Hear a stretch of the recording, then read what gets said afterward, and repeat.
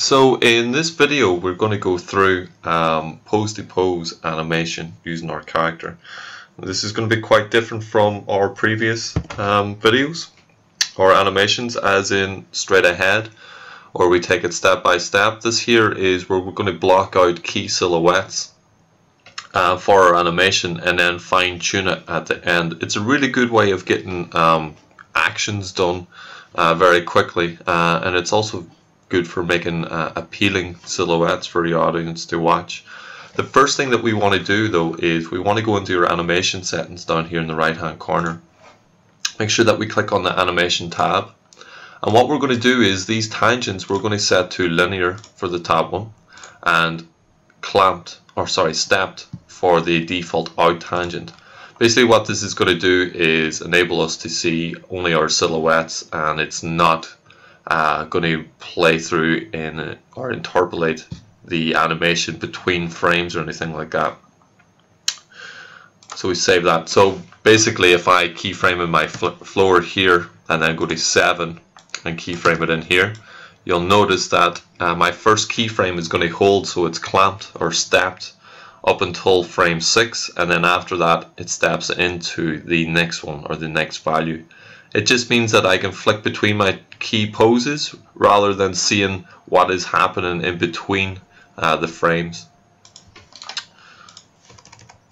So, first thing that we're going to do is key Nasi in his first pose. Uh, I'm basically going to have him falling down from the floor uh, to the ground and then stand back up. So I might have about 67 key silhouettes that I want to do. So to get him up in the air, uh, I'm going to click on his uh, main control points, okay, which are his two legs, his two knees, his two wrists, his two elbows, and his pelvic or pelvis here in the middle. So if I grab all those and move him up, he shouldn't change his silhouette. So now that I've got them up to a reasonable height, I'm going to start keyframing in our first pose. So what I'm going to go for is this Spider-Man type pose. You'll notice when I'm moving his legs up, uh, his knees are in an awkward area. So you might want to make sure that you have your knee placements in a proper place. Another thing I'm going to do is, well, I'm not going to do is I'm going to try not have both sides exactly the same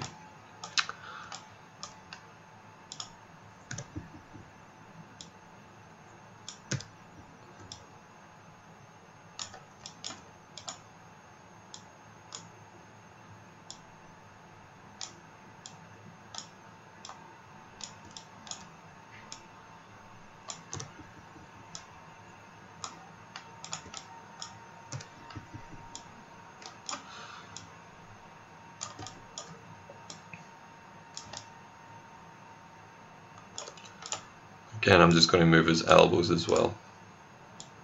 So they're sticking up.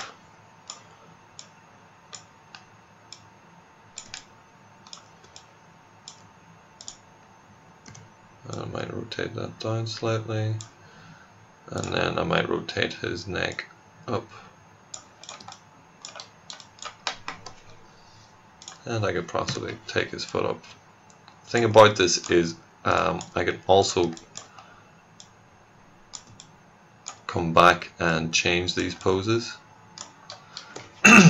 so when I'm happy with that, I'm just going to grab all the control points and press S. And that's going to keyframe them all in. So that's my first one. I could probably go back and change a few things in this. Um, I might just put that hand out a bit more. Um, keyframe that in. And I could come like to the back, maybe move that over slightly. Keyframe that in. Maybe move his shoulders as well.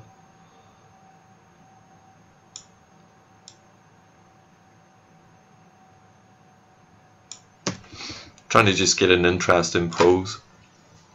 So the next one, uh, this is kind of like your squash I suppose, is when he's going to be halfway down and that's going to be when he stretches out. So again I'm going to grab uh, my key control points. So his two hands, his two elbows, his two knees, his two feet, and his pelvis. And I'm going to move them down. Now I'm going to do this on frame 4, so this is going to be quite a snappy fall. Frame 4. And then what I'm going to do is I'm going to grab his feet and I might just go into my channel box editor and zero out those values. And then I can raise it up. Again, his knees in a funny angle, but we can change that.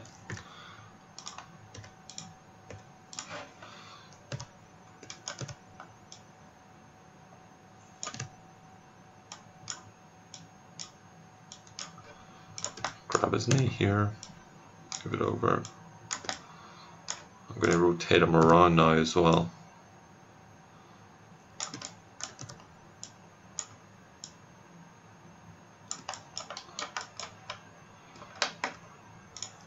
Possibly just move that one over and up slightly. And this time I'm going to have his neck, I'm just going to have him looking down.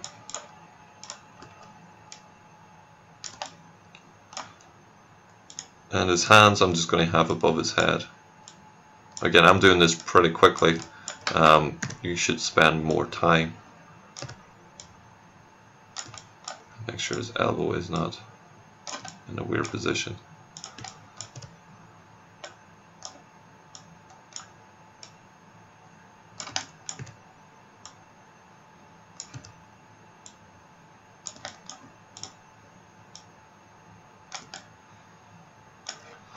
So again, I'm just going to grab all this, press S to keyframe it in, and I can kind of scrub between these two frames now.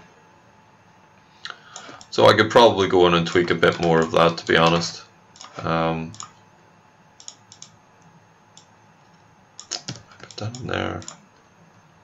Seems okay. I'll get his neck looking more down.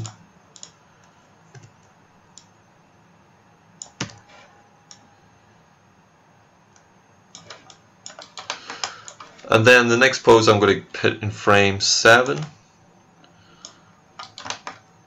Again, I'm going to grab those key control points. So it's two feet, it's two knees, it's pelvis, two elbows, and two hands. And this here one is when he's going to be hitting the floor.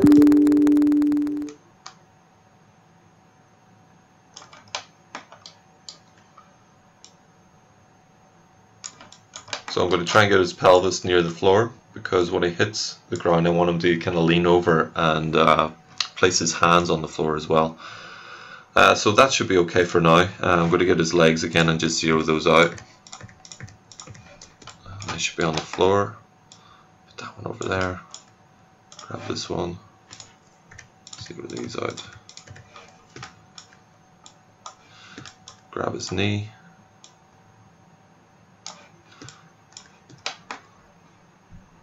Going to bend them over again.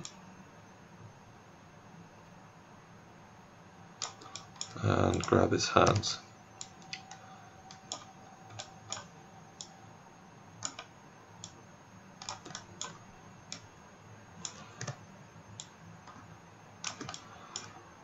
I have to just move his hip down. Maybe bend it over slightly.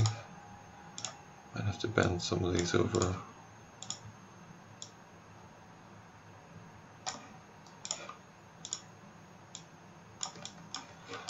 I'm just trying to get him over as far as that I can move his hand down to the floor. That seems good. And now I'll just move the other hand down as well. Again, you can spend a lot longer than me working on these poses.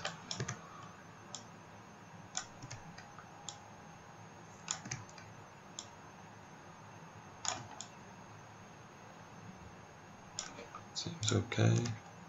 Might just bring them back up slightly. Bring the neck up slightly as well.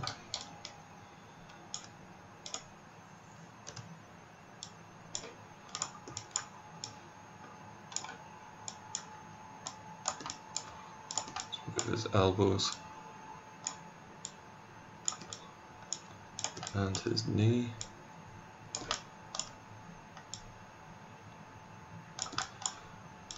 Just move that one over slightly. And that one out like that. So again, I'm just going to grab everything and I'm just going to keyframe that in. So now we have our main pose is done.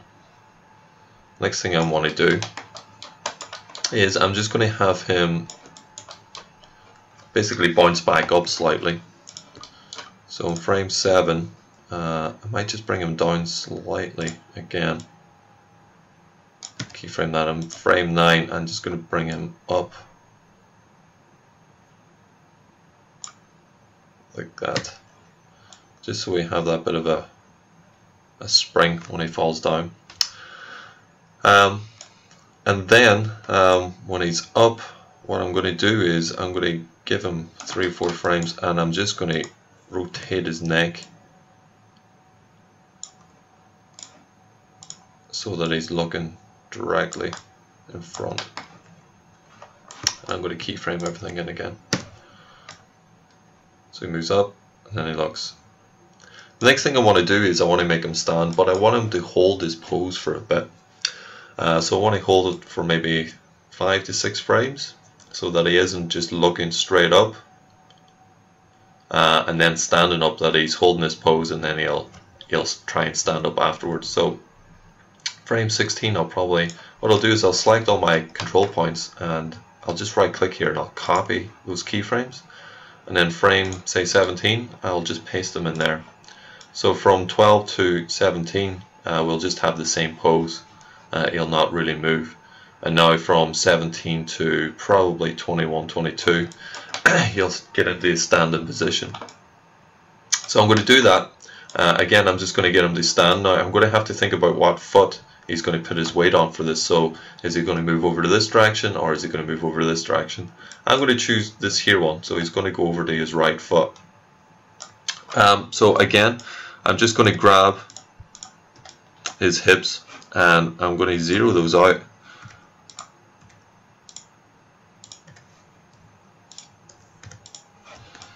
So he's standing up and then I'm going to move them over and I'm just going to move them down slightly. I'm going to grab the knee for this leg, move it into place, and then I'm going to also grab the foot for this one, um, something like that, and the knee, just move over like that. The neck, I'm going to just press zero key that back in its original position, key this back in as well. And his hands, I'm just going to grab and move in.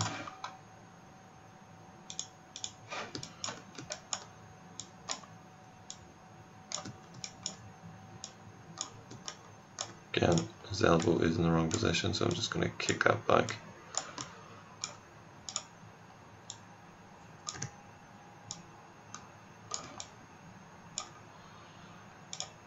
And then I'm going to move the other hand in.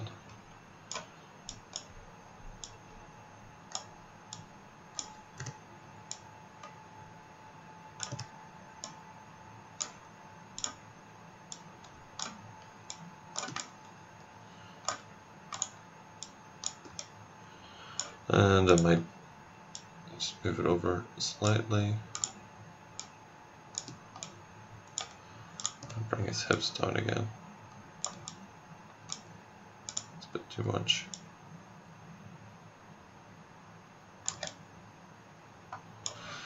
Scrub everything and I'll keyframe that in. So now he's going from here to there. So if we press play, just make sure that you're playing in real time. So if you want to do that, just right click on the play button, go playback speed real time. Uh, press play. It'll give us a good idea how quick our animation is. So once we're happy with all our silhouettes, remember we can just go back into any of these keyframes and uh, change our silhouette to whatever we want. Um, but once we're happy, I'm just going to select all my control points and I'm going to go to Window, Animation Editors, Graph Editor. And you can see in here that our values are basically clamped and they're all linear so they're going across until they come to a new keyframe they're holding that value and then they're just stepping up to that new value so there's no uh, linear or automatic or plateauing or anything like that so what we want to do is uh, I just pressed F there just to focus on all these keyframes and I'm going to grab them all and you can see here that you've got a plateau tangents and I'm just going to click on that so now all my tangents are plateaued, so it'll show these in between frames. So if I press play now, you can see that it's playing in between these. And there's a few things that we can change and kind of tidy up in the animation. One thing that we want to make sure though is that we go back into our settings and we go back into animation and we make sure that these are both plateau now because if we're making any more adjustments to this we want to make sure that they're um, like automatic and they're kind of curved in the graph that graph editor. So first one I want to go to is 17 to 22. Um, if we look there we can see that this leg just slides along. So what I want to do is I want to grab that leg and I'm just going to grab and copy the keyframe for it because I don't want that leg to move quite just yet. I want to hold it to maybe frame 19. Just paste it in there.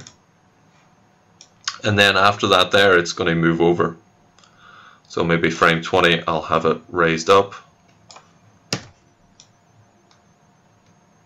And then it steps down. Another thing is my hips in between. When he's doing this, I probably want them leaned over to one side. I'll maybe do that for the shoulders as well. Just to move his center of gravity a bit. Might also do that for the neck.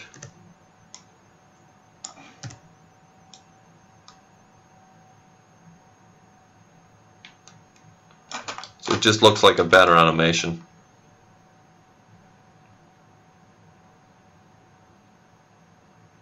I could probably fix his hands as well. Um, if I go to the start of this, just to see if there's anything that I can change. One thing I noticed is that his legs were kind of crumpling up before it hits the floor. So what I could do there is, uh, well I could probably go in and move his legs a bit, but they seem okay.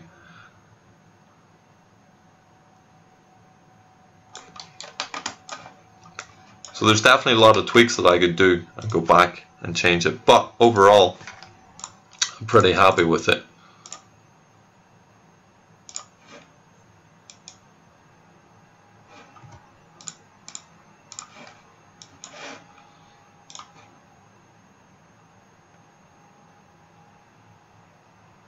So that's pose to pose animation. Um, and it works really well if you're doing like um, a blocked out scene that you've uh, pre-prepared using storyboards that you can get those nice silhouettes in and it's something that you should definitely use when you're animating a character.